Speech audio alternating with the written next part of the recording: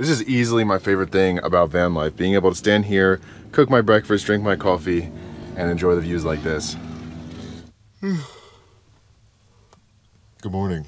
Sometimes with these uh, MaxxAir fans, it's like waking up with a uh, spotlight shining down into your eyes when the sun hits it perfectly. So it's only really an issue when I sleep in late like I did today. So I think it's time to get up. And I think I'm in one of the coolest spots that I've found so far on this trip just outside of Phoenix, Arizona with beautiful views all around me. Pretty cool. So, the spot that I am currently in is just outside of Saguaro Lake in Arizona. And the reason that I'm here and why there was no video on Thursday is because I tried to film a catch and cook yesterday and it went absolutely horribly. It was freezing cold, it was windy. I went to the tackle shop and asked the guys if I would have any luck trying to catch fish today and they said absolutely not, especially from the shore this time of year. The fish like to be in deep water, so I went out there for a couple hours despite the advice that I got. Caught nothing, was freezing cold, and just decided to give up on filming a video. So I didn't film a video this Thursday, but there's always something positive that you can pull out of a negative. And the positive that I pulled out of that is that I found this beautiful spot that opens up over this mountain vista in the distance. There's even some snow-capped mountains back there. And it is just stunning to wake up to this. Very nice. Also, I'm gonna put some socks on because it's kind of cold out. The only two clean socks I have left are different colors, so it's not like I'm gonna see anybody else today, so it doesn't really matter. But also, where I parked is actually kind of a cool area because if I head outside, where I'm parked really isn't even a campsite. The uh, campsite that I was supposed to go to is actually down there. They weren't there last night, but I didn't want to go down there because pulling up on here on the side of the road, I'm not blocking any of the roadways to get down to all the off-roading trails. And I found a way to angle my van perfectly up on this little ridge right here so that I can open my door to this beautiful expansive landscape. But there is endless, and I can see them all over the ridges, all over the hills down there for miles and miles, off-roading tracks. And although I don't have an ATV or a dirt bike or something like that, I do have my e-bike and it's got some shocks on it. So I figure at some point today, I'm gonna take the e-bike out because I charged the battery all last night and go explore some of these trails that go back into the uh, wilderness back here. But it is super windy again out today. But it's nice because the wind is coming from that direction blowing this way. So I can feel it on my ankles down there, but I can't feel anything right here because my van's blocking it, which is really nice. So I was kind of bummed about yesterday and not being able to catch any fish because, and I'll put up some overlays right now of the footage that I took yesterday from the lake because that lake was the most beautiful lake that I think I've ever been to in my entire life. And I'm sure it would have been a blast to fish in the summer, but the fish just weren't biting this winter. But it's just so crazy that people out west have beautiful things like that 30 minutes from their city. Like that was 30, 45 minutes from Phoenix. So even though I didn't catch any fish, I'm still really glad I got to see it. Also, I don't know if I mentioned it yet, but today's video is going to be the first one of the road trip. And I know that the title of this video says road trip, but it's the first one of this road trip where I'm not driving at all and we're staying in the same spot for more than one day. Because there's a bunch of storms up north, I don't want to rush, and I want to stay here and enjoy these beautiful views for one more day. The clouds are so perfect today, they almost look fake. But for breakfast today is some of my crispy golden breakfast potatoes. So I'm gonna get those prepped up real quick. And typically I'll use a normal size like uh, russet potato, but I don't have one of those, so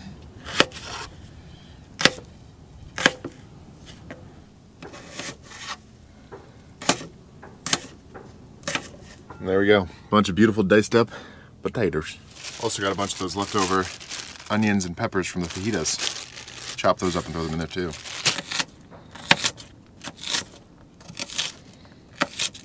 All right, so I'm not gonna lie, I completely forgot that I've gotta boil these potatoes. So I'm gonna do that real quick and kind of just put everything else on pause until we get this water boiling. All right, the water's boiling enough, so I'm gonna go ahead and throw those potatoes in. While we wait for those, I'm gonna get started on this pan.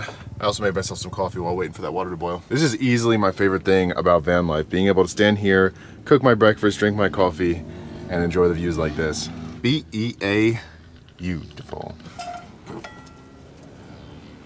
Might have to close the door, it's getting a little windy out, it's blowing away my, my flame. Or at least close it halfway.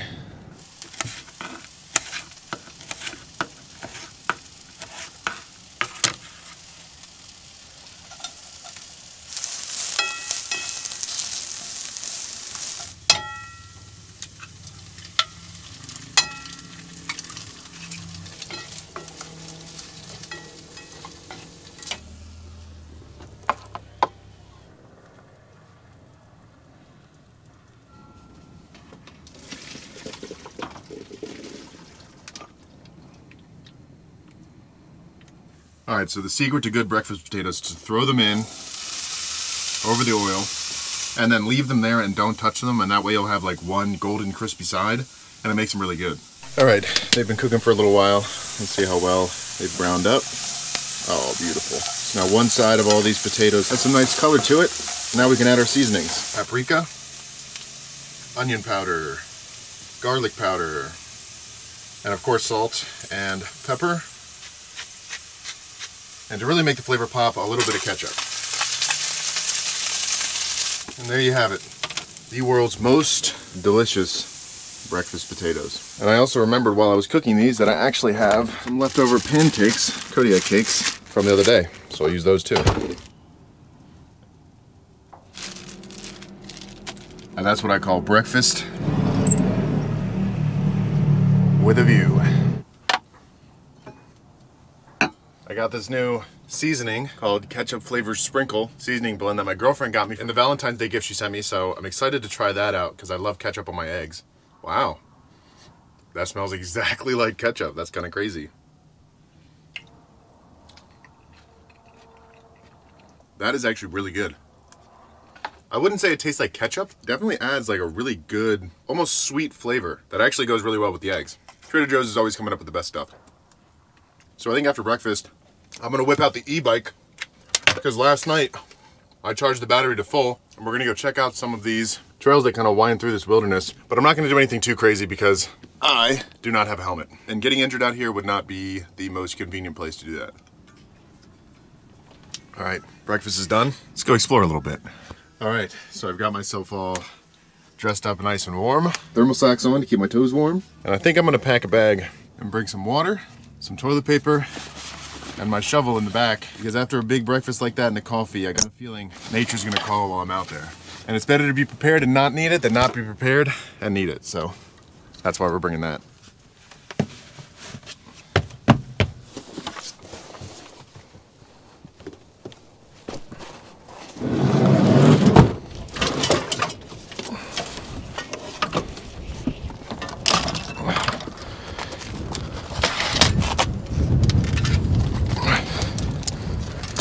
There we go. I think we are ready to rock and roll.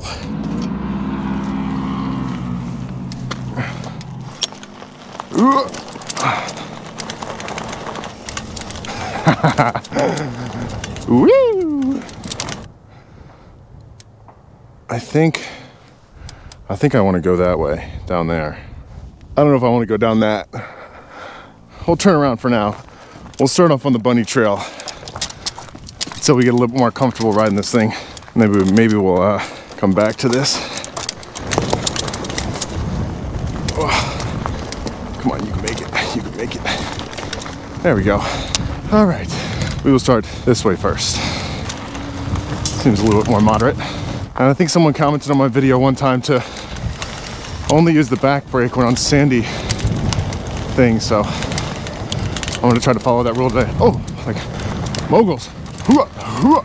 This would have been a cool campsite too. I don't know if I'd want to take the van down here though. Got a little fire pit. Still got some pretty good views of the vista, but onward. Oh God. This bike's gonna fall apart. oh, I need to get a dirt bike. This is so much fun. All right, I might get a little sketchy going down this way too. Let's just do it. Now we can actually put on war pigs and ride around.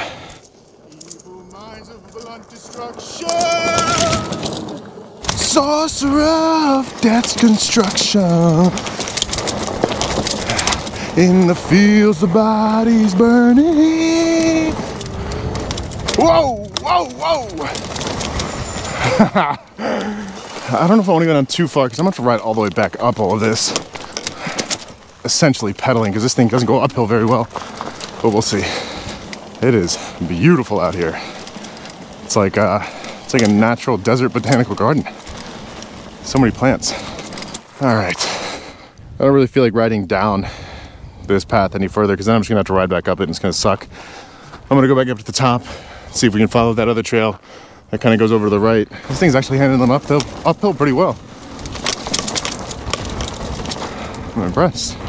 All right, so we've made it back up to the top of the fork in the road. You can kind of see the van way off in the distance over there. I think I'm gonna head down here, see what we can find, and then maybe head back to the van. I think I had my headphones in and disconnected, and I realized I dropped my phone.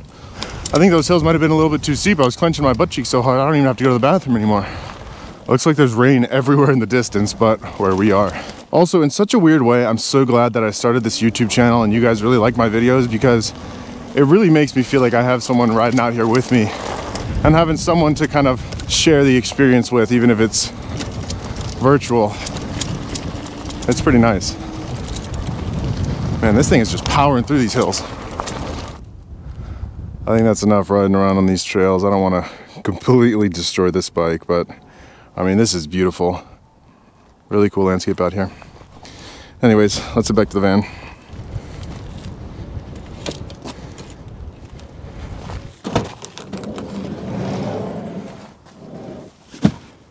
All right, that was fun.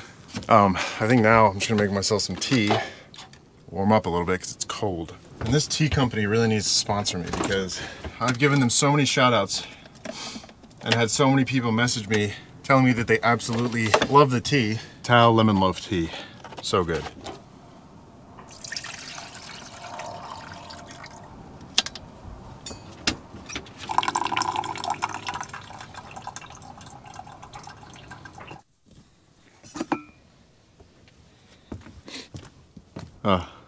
What a beautiful day out. It's not as cold if I'm not riding around on that bike, so that's nice. I have had a bunch of people ask me kind of how I go to the bathroom when I'm in spots like this, and the simple answer is you just dig a hole. And it's really not that bad, honestly, to sit out here and take in these views while doing what you gotta do. I feel like everyone should try it once in their life. It's quite nice. Hello. Hello. How goes it? I don't know. I think talking about it maybe have to go. Yeah. And my girlfriend actually got me these biodegradable toilet paper packs, so I'm gonna go use one of those. So I'll check back in with you guys in a few minutes.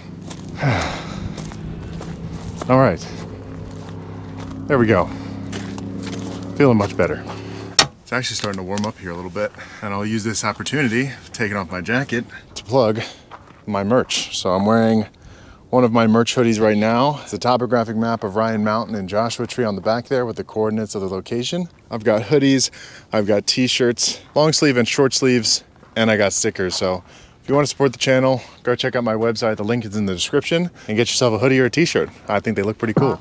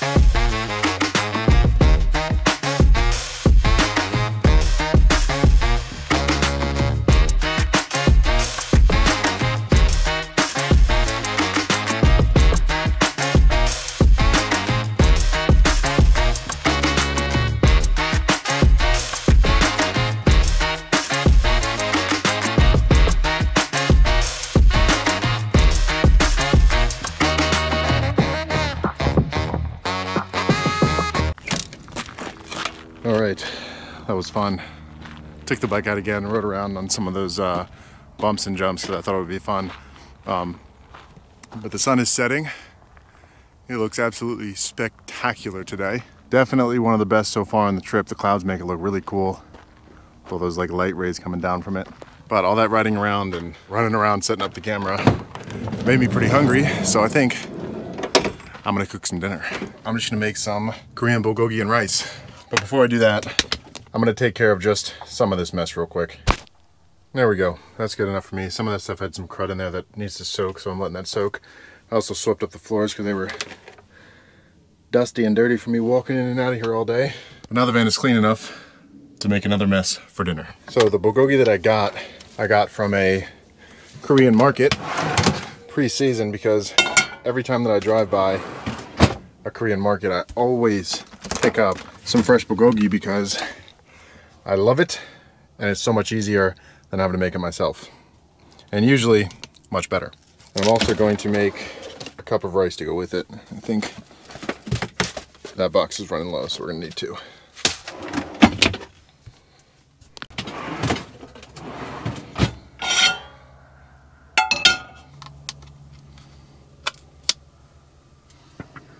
Ooh, that smells so good. Look at that.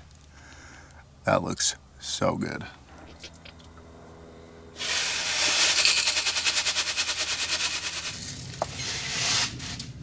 So this is actually kind of a lot of bulgogi, but I think since it's just easier to heat it up, I'm gonna cook it all now, and then just, it'll be a lot easier to reheat for lunches and dinners later this week.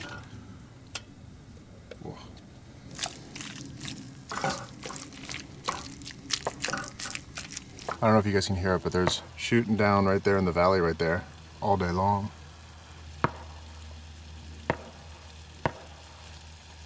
It's so crazy. I don't know if you guys can see it, but you can see the muzzle flash, and then three seconds later you hear the gunshot. Pretty cool. But our water's boiling. Add our rice. We can go ahead and cover that. And the rice is done. Now we just gotta wait for this to cook up.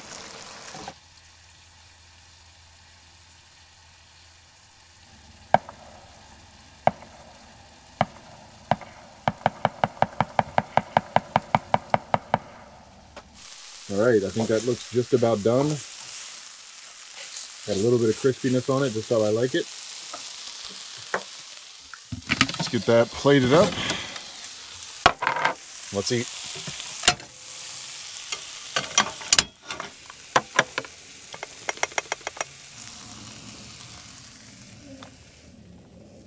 I am so excited to eat this. That looks so good.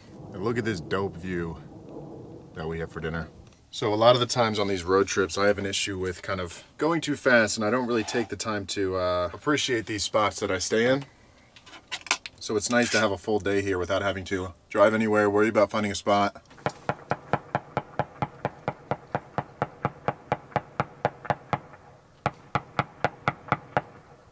Unloading out there. And it just really allows me to kind of experience the places that I stay as opposed to rushing in, rushing out, passing through, not really taking anything in. So today was really nice. And this bulgogi is so good. Forever in Tucson, Arizona, stop by the uh, Kimpo Market on 5595 East 5th Street. That's the address. It's like this small Asian market. They've got some fire pre-made bulgogi. Make sure if you go, you tell them Ryan sent you. They'll probably be confused. Woo, this is good. It is starting to get pretty dark out there though. I have to close up shop here pretty soon. That was so good. Very glad I decided to make that, but it is starting to get dark out and spooky. So I think I'm going to close up shop for now, put the bike back in the back, clean up the mess from dinner, and then just hang out in the van. So I will leave you guys with a nighttime montage and I will catch you in the morning.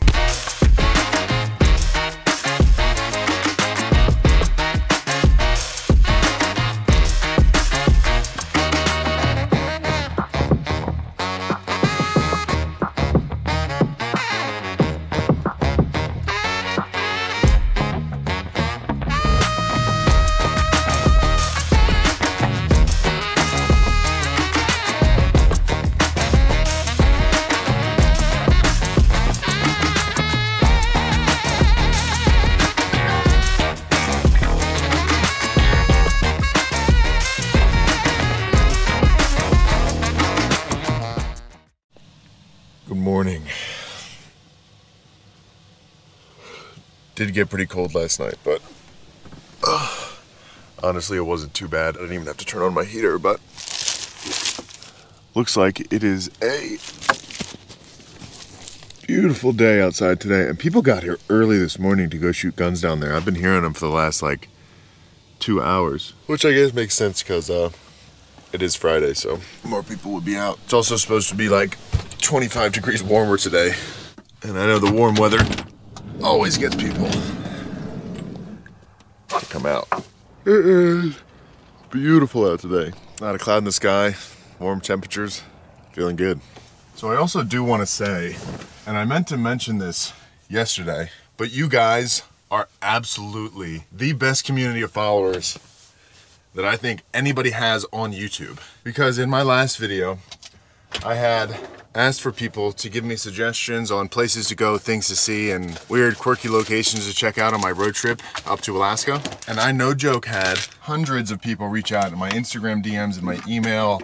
Some people reached out through in my Discord and, and so many other different ways and I read almost every single one of them. I didn't get to reply to all of them because there were just so many. I just couldn't reply to all of them. But some people wrote full full paragraphs describing the locations, all the cool things to see, and I have a little breakdown of all of the notes that you guys sent me in my notes list on my iPhone. So I have it by state and by location where I want to go, things I want to check out based on your guys' suggestions. So if I ever go and visit a location that one of you guys suggested, I'll give you guys a shout out. But honestly, I cannot express my gratitude enough for the amount of support that you guys give me. Obviously, I would be nowhere and I would be nothing without you guys. So I just want to say from the bottom of my heart, I truly, truly, truly appreciate you guys. And I'm very excited to see where this channel takes me over the next couple years. But yeah, I meant to mention that yesterday, but I just completely forgot, so figured I'd mention it today. But for breakfast today, we're having uh, we're having some steel cut oats again, and also some more raspberries.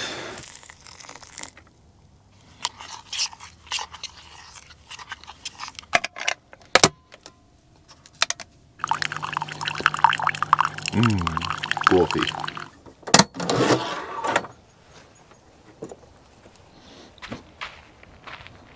So I think I'm probably going to head out of this space today and head up towards Sedona, Arizona. Check out up there, but I think before I do that, I'm actually gonna head back down into Phoenix, get myself a shower to Planet Fitness, and get a workout in, because I haven't done that in like two or three days.